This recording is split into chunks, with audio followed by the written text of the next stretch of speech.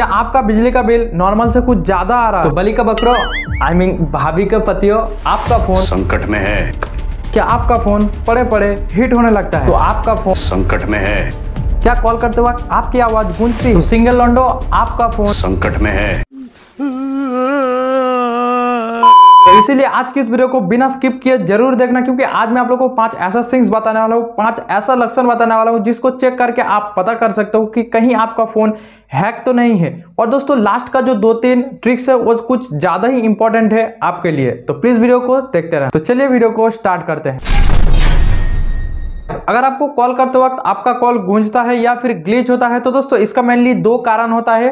First आपका वहाँ का जो नेटवर्क है, उतना स्ट्रांग नहीं है, आपका मोबाइल पर अच्छा टावर नहीं है। बट दोस्तों अगर आप देखो कि आपका टावर भी अच्छा है बट फिर भी कॉल गूंज रहा है या फिर अजीब टाइप का आवाज़ हो रहा है तो इसका मतलब यहाँ कुछ तो गड़बड़ है। ज़रूर कोई ना कोई गड़बड़। कुछ नहीं यार बहुत कुछ गड़बड़ है। इसका मतलब आपका फ़ोन हैक हो चुका है हैकर के कंट्रोल में है और आपका कॉल हैकर चुपके से सुन रहा है या फिर हो सकता है कि आपका कॉल रिकॉर्ड भी हो रहा हो।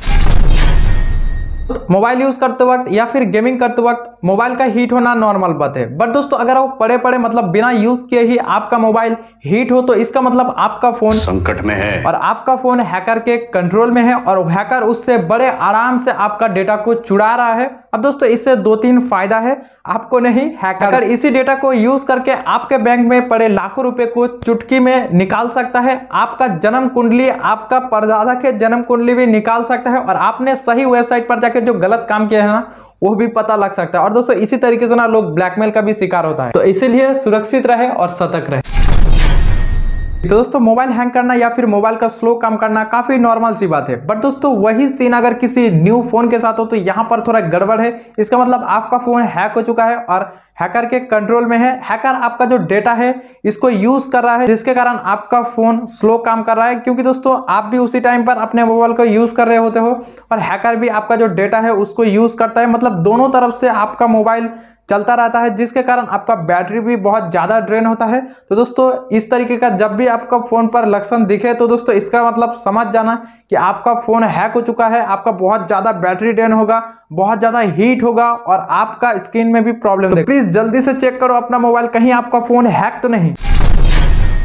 दोस्त अगर आप अपने बिजली का बिल या फिर शॉपिंग वगैरह ऑनलाइन बहुत ज़्यादा करते हो और अगर आप नोटिस कर रहे हो कि आपका बिजली का जो बिल है, वो पिछली बार से कुछ ज़्यादा आ रहा है या फिर जो नॉर्मल होता है, उससे कुछ ज़्यादा आ रहा है तो इसका मतलब आपका बैंक डिटेल्स हैकर के पास है और वो उसको यूज़ करके आपके बैंक से थोड़ा थोड़ा पैसा निकाल रहा है, उसको यूज़ कर रहा है, जिसके कारण आपका बिल भी बहुत ज़्यादा हो रहा है, उसका काम भी हो गया और आपको पता भी नहीं चला। तो यार, प्लीज़ इसको चेक करना, कहीं आपका बैंक डिटेल्स हैक तो नहीं है।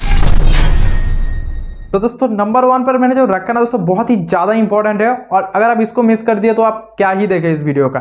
तो दोस्तों, इसी के मदद से यार, इसी ट्रिक्स को सबसे ज़्यादा हैकर यूज़ करते हैं एक मोबाइल को हैक करने के लिए लोगों को स्कैम करने के लिए। और लोग बलि का बकरा बन भी जाते हैं यार। तो वो क्या है उसको जानने से पहले? तो आप मेरे इस वीडियो को इतना दूर तक देख रहे हो, इसका मतलब साफ़ है कि आप मेरे इस वीडियो को पसंद कर रहे हो। तो यार आपसे एक छोटी सी गुजारिश है कि प्लीज़ यार मेरे इस वीडियो पर एक छोटा सा कमेंट कर देना ताकि और ज़्यादा लोगों के पास ये सजेस्ट हो। लोग थोड़ा सतर्क हो सके, लोगों के साथ ज़्यादा फ्रॉड ना हो स्कैम ना हो। तो ये आपकी ज़िम्मेदारी है। प्लीज़ यार एक कमेंट कर देना और प्लीज़ चैनल को सब्सक्राइब कर देना। अपने भाई को थोड़ा हेल्प मिल जाएगा।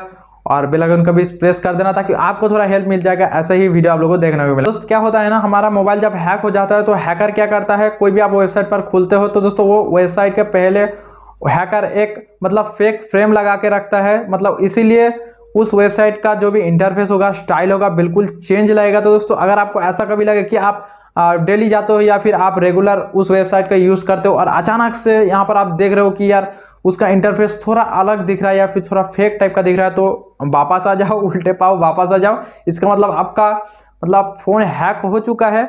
और दोस्त, इसका मेन कारण क्या है जानते हो? इसका मेन कारण है कि हम लोग कोई भी वेबसाइट पर जाते हैं, वहाँ पर लॉगिन करने बोलता है तो हम लोग कुछ भी मतलब चेक नहीं करते हैं ज़्यादा। वहाँ पर जाके अपना ईमेल हो गया, नंबर हो गया या फिर पासवर्ड वगैरह हो गया, दे देते हैं। और दोस्तों, देने के बाद हम लोग जैसे ही लॉगिन पर क्लिक करते हैं तो दोस्तों, और क्या होता है?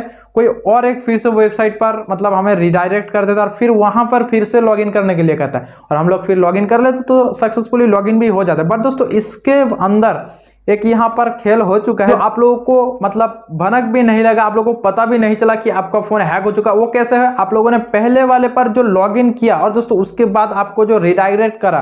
दोस्तों हैकर का एक चाल होता है मतलब आप लोगों ने लॉगिन किया हैकर के पास सब कुछ चला गया। हैकर अब आपको शक ना हो कि आपका फ़ोन हैक हो चुका है तो इसके लिए हैकर क्या करते हैं?